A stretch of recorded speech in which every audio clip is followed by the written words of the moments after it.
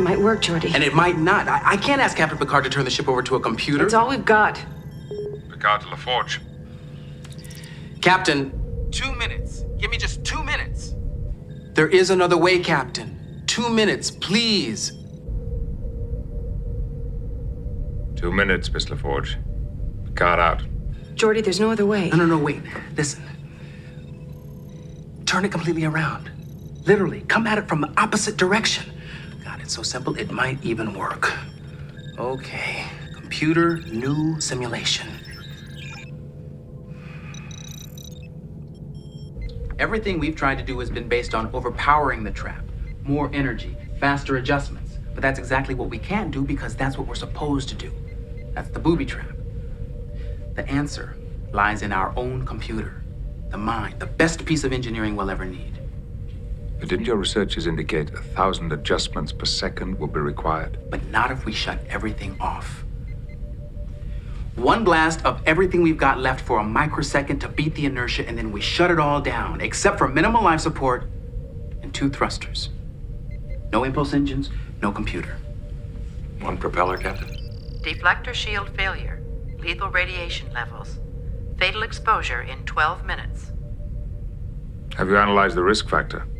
The numbers say it's even money. It's no better than turning it over to the computer, but no worse either.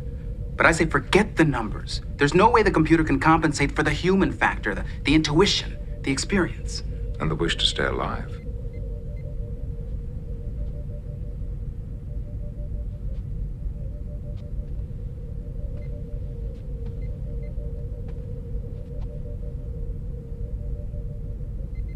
Make it so. I've run the simulations, Captain. If you want, I'll take the con. Thank you, Mr. LaForge, but you've done your job. Now I must do mine. I relieve you, Mr. Crusher. Yes, sir.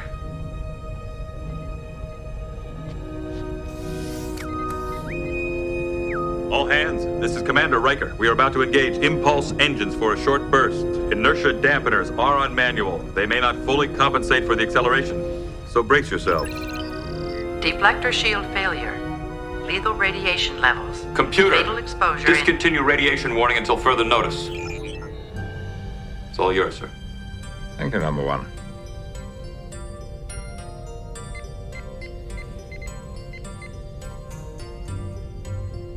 Firing impulse engines.